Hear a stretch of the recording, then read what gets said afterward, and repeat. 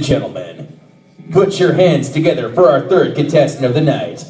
Playing to the track Devil's Corner, give it up for Keith Frazier. Yeah.